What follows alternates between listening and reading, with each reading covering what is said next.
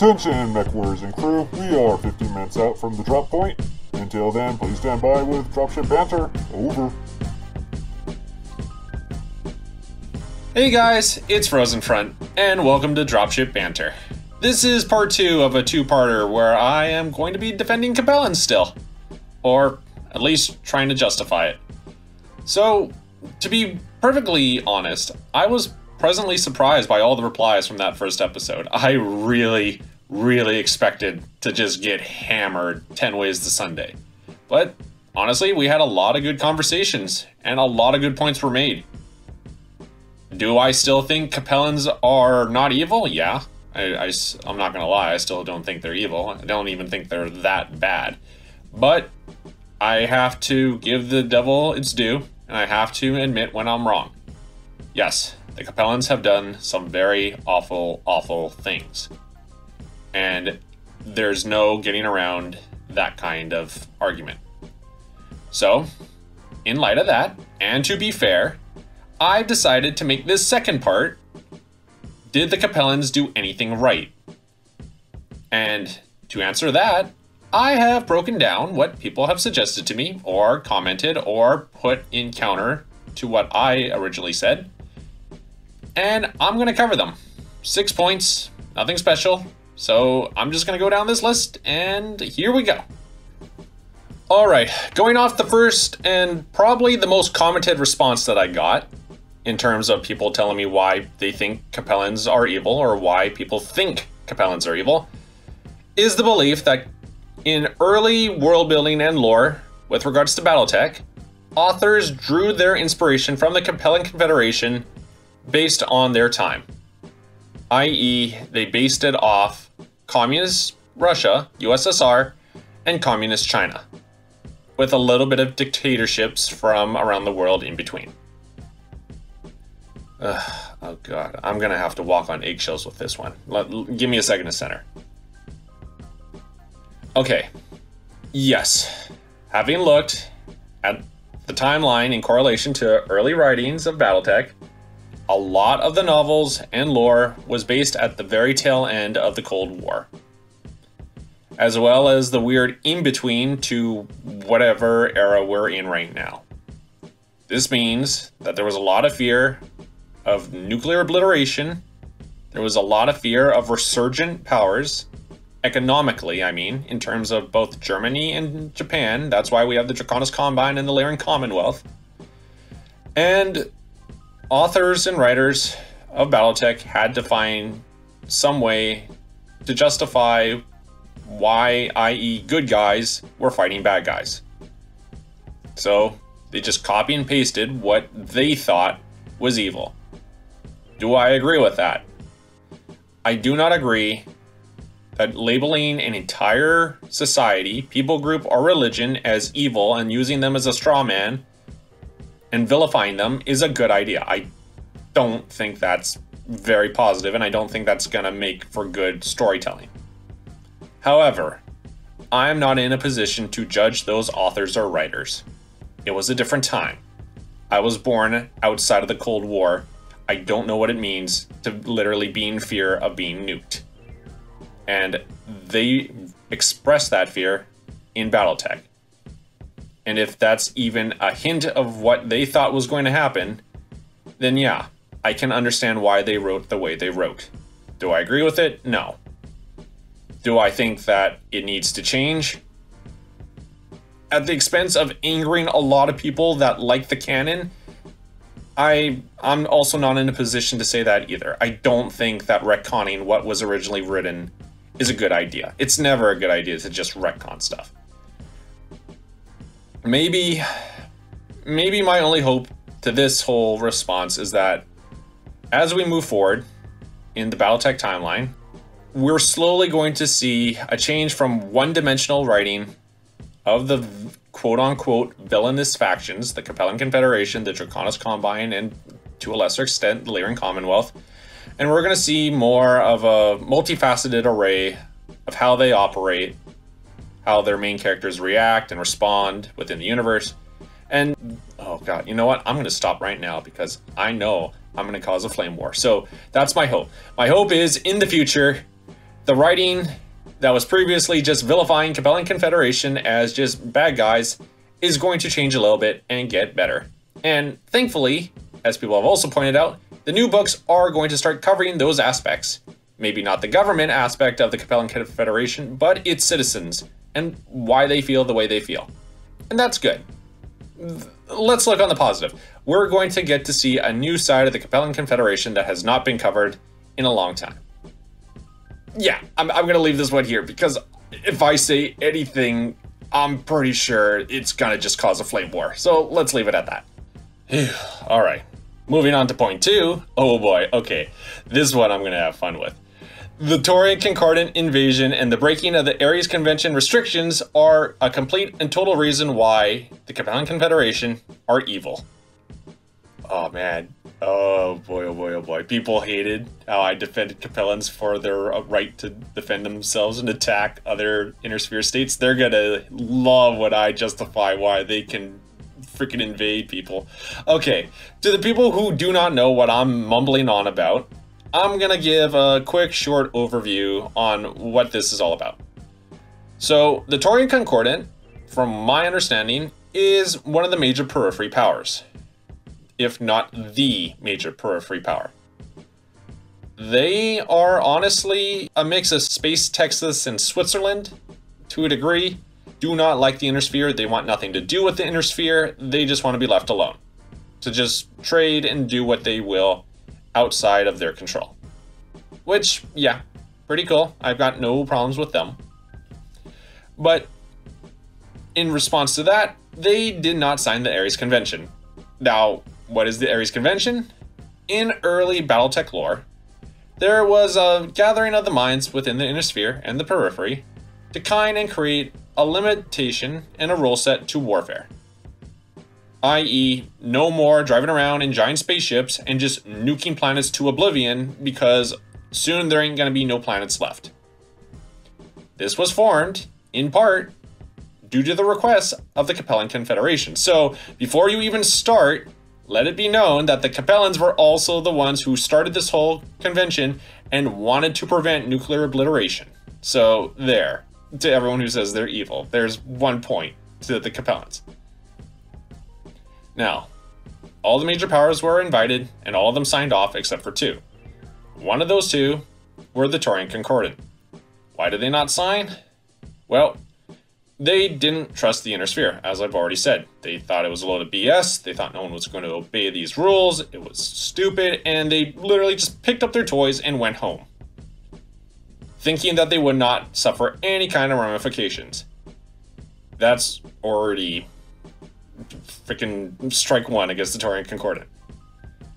Now, to be fair, in response to this, the Capellan Confederation, realizing after signing the Ares Convention that there was no actual means to expand in the Inner Sphere, turned around and said, Alright, who can we possibly try to take over in order to expand? Well, the Taurian Concordant didn't sign, so bingo, bango, bongo, they are the target. And, okay, here, you know what? Because I know I'm already pissing off Taurian Concordant fans, here's your one minute of just you time to shine, or your time to shine. Here you go. I'm gonna give it to them.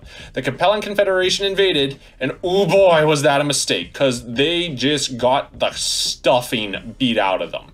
The Taurian Concordant did not back down. They literally formed a literal line in the sand and said, come get some.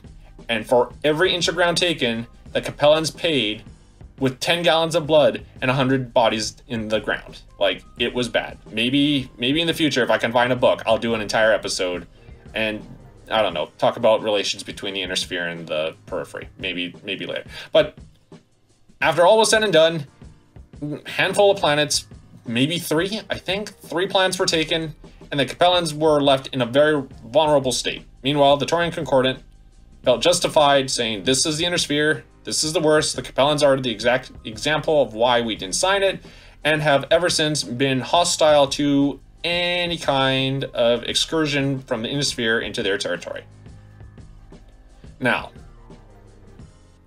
is this morally justifiable for the Capellans to do? No, I'll give you guys that. It is not justifiable that the Capellan Confederation decided to just walk in there and try and take them over. I mean, I, you, you know that I can't justify the Capellan Confederation doing that. That's not fair. So, fine. You want to play that game? I'll play this game too. Strategically, yeah, it makes sense for the Capellans to invade the Taurian Concordant. And here you go. Oh boy. God, I can already. I don't know much about the Taurian Concordant in terms of lore, but I know that people in the fandom love these guys. Like, they are number one in terms of people who love, like, the periphery states. So I know I'm about to really anger some people. Here, here's. Okay, instead of ranting, here's my perspective. The Capellan Confederation knew that if they didn't go in first, someone else would, i.e., the Federated Suns. The Federated Suns had already had their eyes on the Taurian Concordant, they wanted it, and they were going to invade. They had the same idea that the Capellans had.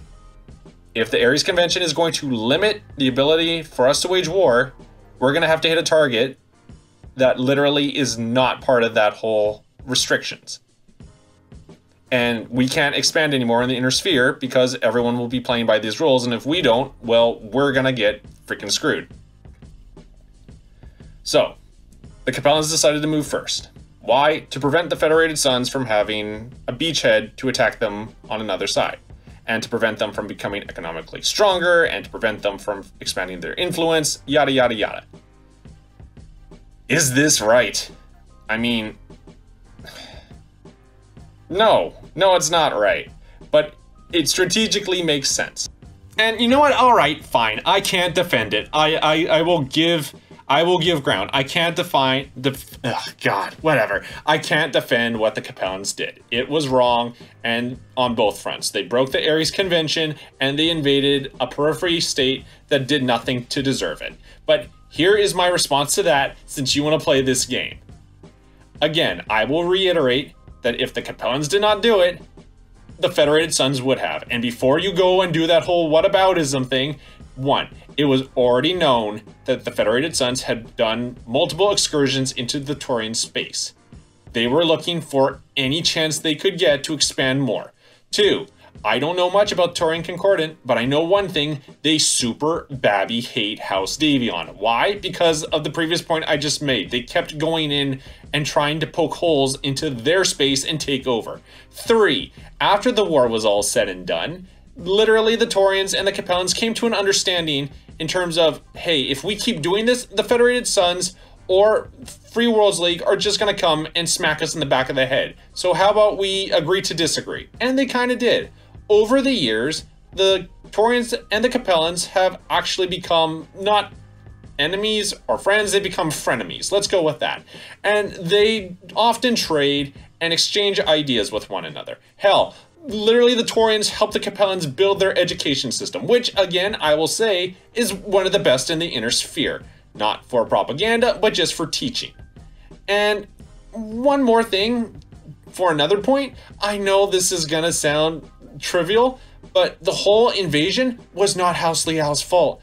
This is actually the one time where the Capellans act like total asshats. It was not a member of House Liao leading the charge. It was another person entirely who was the overall commander of the Capellan Confederation. So there, there, there's my answer to this whole thing. No, you're right. The Capellans were the asshats. They were evil in their invasion and breaking of the Ares Convention. But there was reason for it. It wasn't just because they wanted to invade for the sake of invasion. There we go. Okay, moving on from that are points three and four. I'm going to combine these two just to save on time because I really am hoping I can get this at least under 25 minutes. Points three and four are the people within the Capellan Confederation are basically brainwashed into believing that the Confederation is the only good and valid option in the inner sphere. Add to that, the state's justice system is an absolute joke, and that there is group punishment and wrongdoing for any attempt of a citizen or servitor to literally rebel or question the government. Alright, yes, again, morally, this is unjustifiable. It is wrong and it is pretty evil. Group punishment simply because one person said to a commissar, hey, I think I have the right to make a joke about who is leading this planet today in the Capellan state is not right. And yeah, the whole Confederation doing a whole literal firewall within its border to prevent any information from other states getting in is pretty bad. It's actually not bad, it's goddamn awful. It prevents anyone from thinking outside the box. But here's the thing while I can't morally justify this, and while it is bad, I can understand why it happened. Again, I'm just going to repeat what I said in part 1. The reason why the Capellan Confederation is the way it is is because of interference from foreign powers.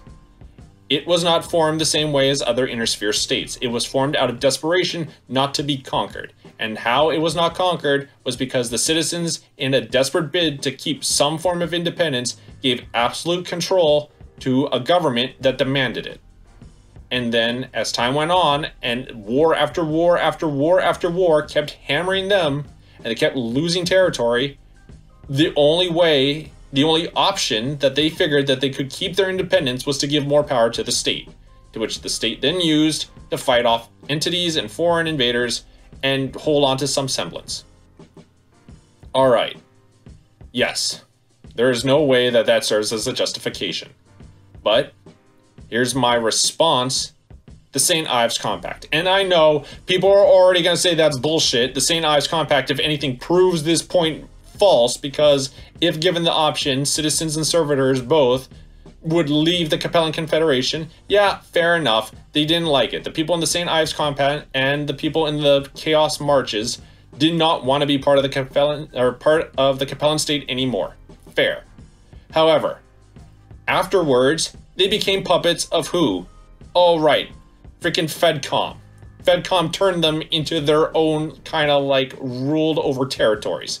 And then they had to bow to them which, if anything, proved the Capellan Confederation right, that literally th- your choices are either follow us or be ruled over by a foreigner. And afterwards, when Sun Tzu came back, he just took them all back, and guess what?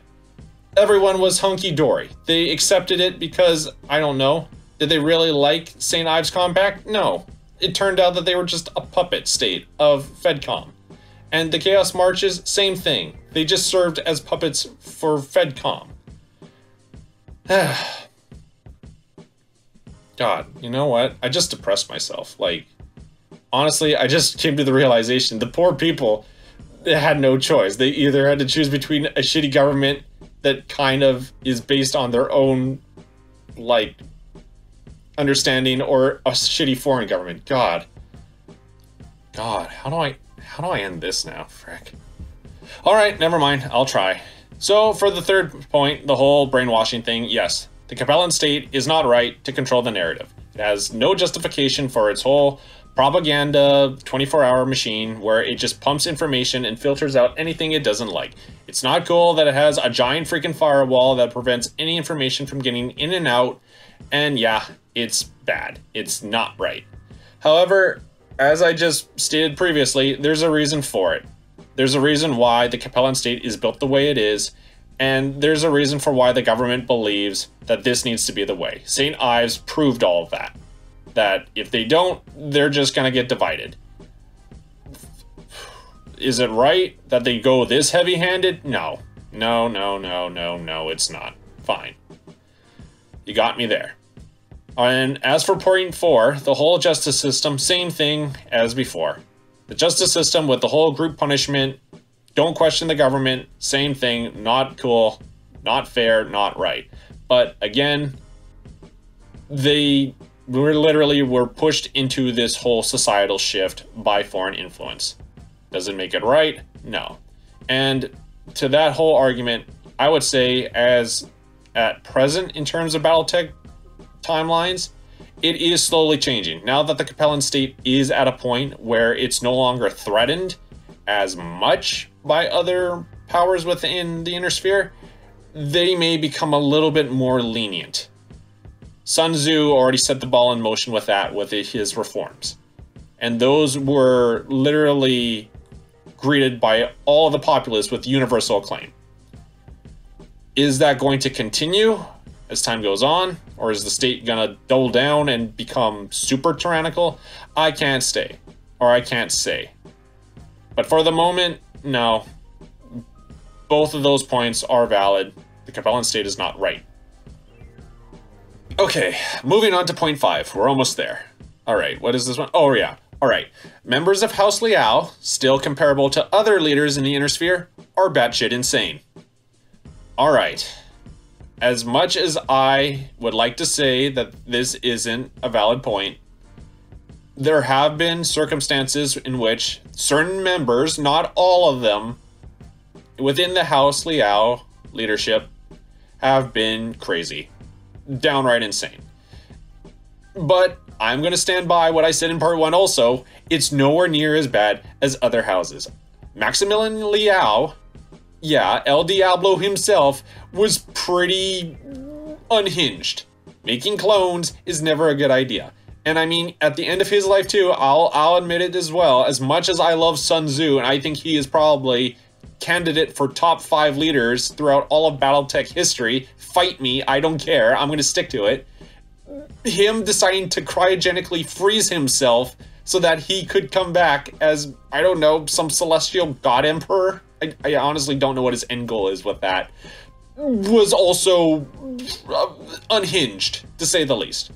And yes, Elias Liao, the founding member of House Liao, while he had noble intentions with his whole we're going to start a world revolution and get rid of all corruption and we're going to try and reset humanity.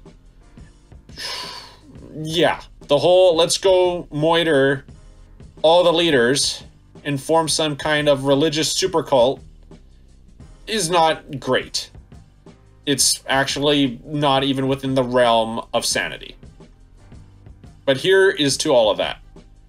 Those are just several members, and their insanity in and out fluctuated. Throughout all of the plot and story of Battletech, they weren't just crazy all the time. There were certain points where they had to go that way, whether it was because of writing or because of what was happening within the universe itself. Take, for example, Maximilian. Maximilian went insane because literally he lost close to a third of the Capellan Confederation and it looked like they were on the abyss of just falling apart. As a leader, yeah, you're you're gonna go batshit crazy when you think your enemies are gonna take over and your head's on the chopping block. Yeah, you're gonna go there and want to go to cuckoo land. Elias Liao, for all his crazy esoteric ravings about trying to restart humanity, did so with a plan. Yeah, the whole we're gonna become a religious kind of esoteric belief system, not so great. But I gotta look more into it. I don't really think it was him that did that. I have to confirm. I might be wrong. If I'm wrong, tell me. But I don't think uh, Elias Liao actually created that whole. What is it? Like, political cult?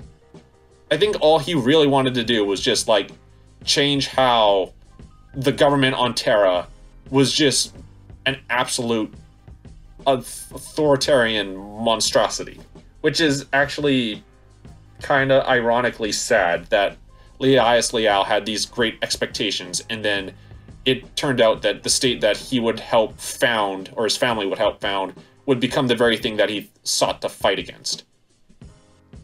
And as for Sun Tzu, and listen, I know there are other members of House Liao that are people are going to point to and say, don't cherry pick the top three most popular ones.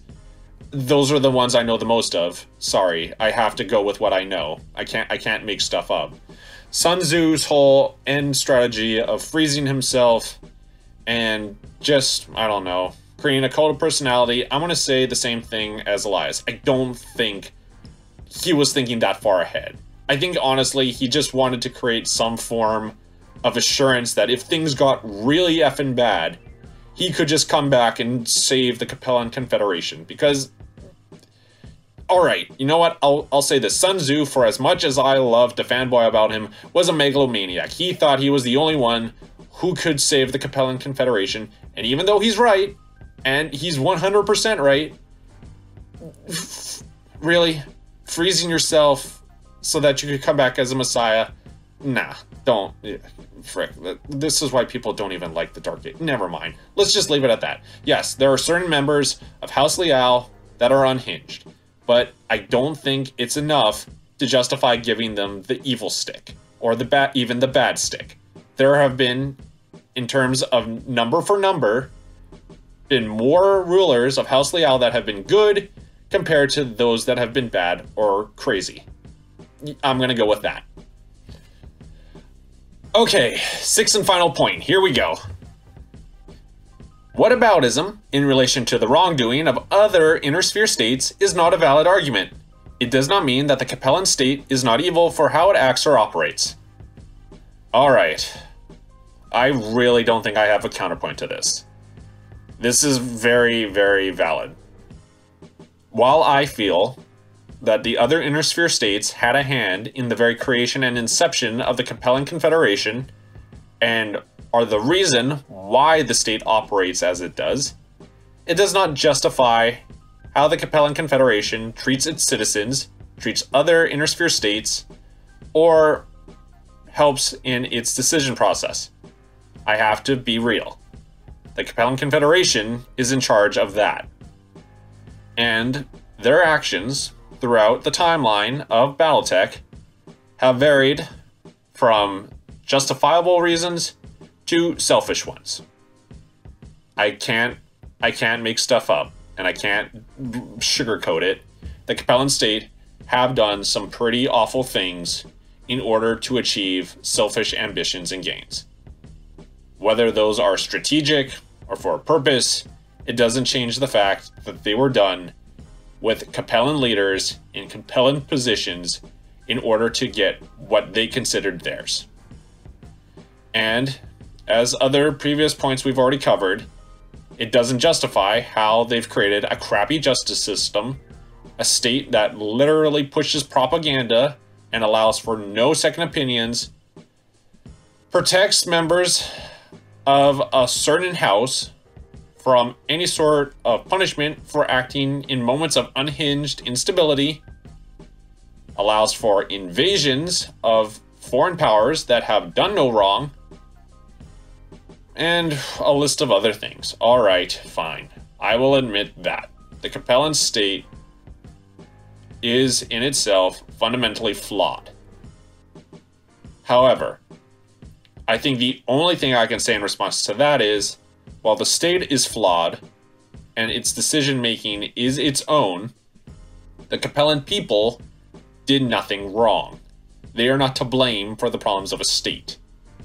And yes, you could say that the Capellan people, compared to other nations, act in strange, unhinged ways of terms of over patriotic actions or just hyper aggressive patriotism that pushes them to the point of being dogmatic. But then again, I guess that would be a counter argument to you, which is you're now using whataboutism in reference to how other states act in terms of how the Capellan people act. The Capellan people, I don't think, are guilty of anything. If anything, this whole oh my god really 30 minutes jesus Christ. okay i'm gonna i'm gonna sum this up quick because i don't think anyone's even listening at this point the capellan people have done nothing wrong in how they have been treated or how they have acted. They have honestly never had a say in how they should be treated in the inner sphere. They have had to simply live with what was given to them and live with the reality of the situation. For a real moment, I'm just going to be honest. The Capellan citizenry both those who have citizenship and those who do not, have been born, raised, and die in a universe that does not care for them, that does not give them any sort of advantage or give them any sort of leniency or mercy. They are born in a state which survived only because it acted utterly ruthless and authoritarian they are wedged between major powers that seek to dominate and pretty much conquer them and force them under rulership that they don't want, regardless of how they would voice their opinions. And that is the case. Regardless of who would take over if the Capellan state failed, you better believe that they are going to be just as oppressed. because there's no way those people are going to let them decide their own fate. So, man. God, did I just depress myself again? Frick. I was really hoping to lighten the mood with this one. Oh, God.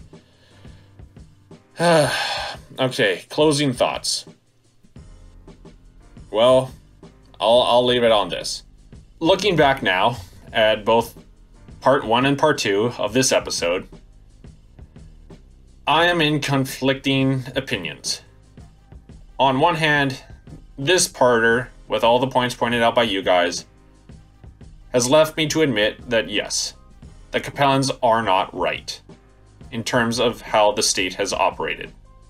It is not fair, nor is it justifiable that they treat people both inside and outside Capellan space the way they do. And the leadership is to blame for its own actions, regardless of past or historical problems with other neighbors. However, I will stand by this. There is an old saying that goes that if you treat someone a certain way, over time that person will become the thing you treat them as. And the Capellan Confederation has not been treated well by anyone. No one has treated the Capellans with a fair and even hand, and they have always been viewed as either a nuisance at best or a threat at worst. The Capellan people, who have no fair say in how they are treated or represented in their government, other than providing support for it in order to survive, are now seen as nothing more than dogmatic, nationalist, brainwashed people. Which I honestly cannot agree with. The people, again, have never had a say, either from within or without the state. They've just had to survive. And surviving is not a crime. Not yet, anyway. In conclusion, I'll probably just end it with these three points. One, yes, the Capellan state has done horrible things, and it needs to be held accountable for those things. Two, the leadership of the Capellan Confederation, namely House Liao, while having done some questionable things, are not bad or evil, if you'd like to say. They've done what any other house in the Inner Sphere has, which is try to look out for themselves and their people. In the case of House Liao, I'd honestly say they have looked out more for their people than any other house. Except maybe ugh, Davion, if I have to admit something. Fine, I'll give Davion that. And finally, for the people, no. The Capellans themselves are not evil. They're not wrong, and they haven't done any wrong. Again, I'll say and reiterate what I've previously just stated. They're just trying to survive. And that is not a crime. Or, you know what? Whatever. I could be completely wrong now. With Ilkhan on the horizon, this could all change on a heartbeat. Since the Capellan Confederation now is one of the strongest powers, they could literally take everything I've just said and turn it upside down and just be like, hey, Clan Wolf, it's time for a beating. And who knows? Maybe that itself is a 180. Maybe this whole Ilkhan present day timeline is just going to lead up to the Capellan Confederation liberating the Inner Sphere. Oh my god. Could you imagine that? Could you imagine the salt that will happen if it's actually the Capellans that rescue the Inner Sphere from the rule of freaking the clans? Okay. Oh, I, I, oh god, that, that is that is a gold mine. That is an episode in the making. But that will have to wait.